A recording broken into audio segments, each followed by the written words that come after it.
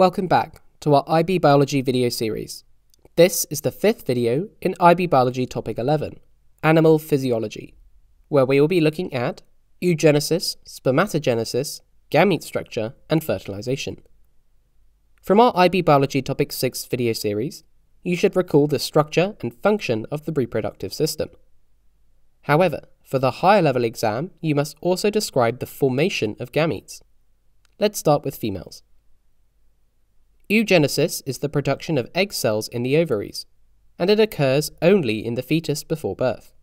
It is considered a six stage process. In the ovaries, germinal epithelium cells divide by mitosis and distribute through the cortex of the ovary. At 4 to 5 months old, these germ cells grow and divide by meiosis within the fetus, forming primary oocytes. By 7 months of age, Primary oocytes are still within the first division of meiosis, but are now surrounded by a single layer of follicle cells. They are called primary follicles and remain unchanged until after puberty. Around 400,000 primary follicles are present in a fetus, a finite amount. Once the fetus is born and the child undergoes puberty, during each menstrual cycle, one primary follicle completes the first division of meiosis to become a mature follicle, containing a secondary oocyte and a small haploid polar cell. When stimulated by HCG, the secondary oocyte begins the second division of meiosis, but stops at prophase 2, before it is released during ovulation. The remaining follicle cells then form the corpus luteum. You should practice labeling these stages on a diagram. Let's talk through an example. A represents the primary follicle, consisting of an oocyte surrounded by follicle cells. B represents the first meiotic division, i.e., development of primary follicles.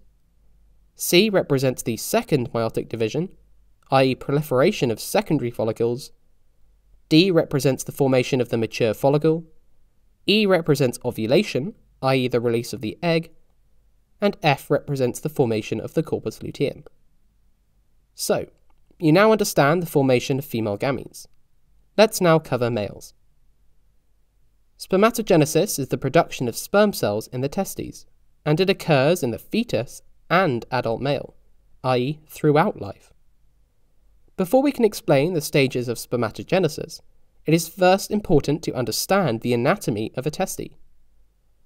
They are composed of narrow, fluid filled tubules called seminiferous tubules with interstitial cells filling the gaps between adjacent tubules, known as Leydig cells. The outer layer of each seminiferous tubule is known as the germinal epithelium, and it contains Sertoli cells, also known as nurse cells. So, what occurs within a testis?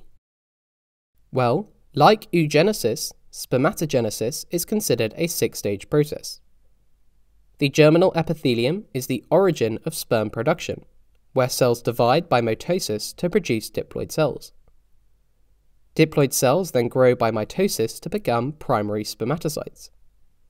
Primary spermatocytes then undergo the first meiotic division to produce two secondary spermatocytes. Secondary spermatocytes then undergo the second meiotic division to produce two immature sperm, named spermatids.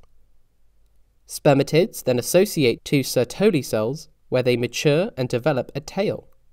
At this point, they are called spermatozoa, also known as sperm. Spermatozoa then detach and leave seminiferous tubules through the fluid filled center of the tubule. Like oogenesis, you need to label these stages on a diagram. In the following diagram, A represents the division of the germinal epithelium by mitosis, B represents the growth of diploid cells to form primary spermatocytes.